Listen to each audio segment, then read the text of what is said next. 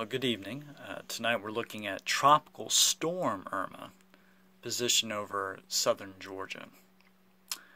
Now, even though the storm is positioned over southern Georgia at this time, we're seeing a lot of the rainfall further north over the Tennessee Valley. And then by, let's say, tomorrow, around, let's say, 2 p.m., much of the rain will be further west than that over places like Alabama and Mississippi. Um, and much of the rainfall, the heavy rainfall at least, will be done at that time.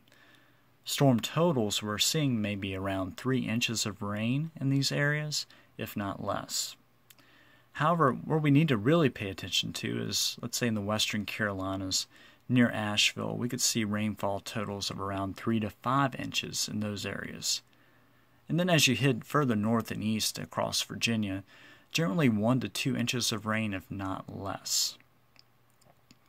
And the last thing we need to take a look at is to the south and east with Hurricane Jose. Hurricane Jose could pose a threat by early next week.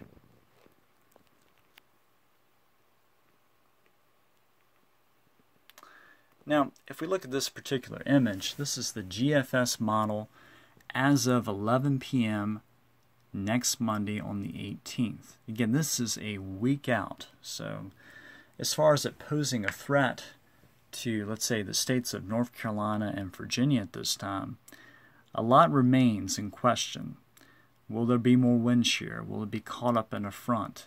So many different factors we got to take a look at.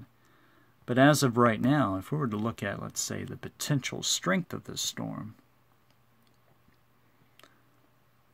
especially along the eastern edge of the eye wall, we could see wind speeds close to 110 miles per hour at this time next week.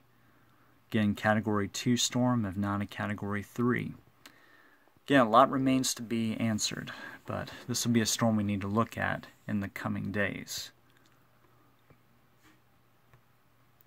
So, just to kind of summarize what we talked about earlier, Irma will deliver tropical storm conditions to Alabama and Mississippi on Wednesday before being downgraded to a tropical depression.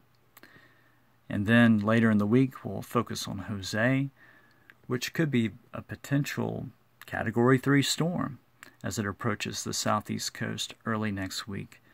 Again, if you're in Virginia, places like North Carolina, be on the lookout.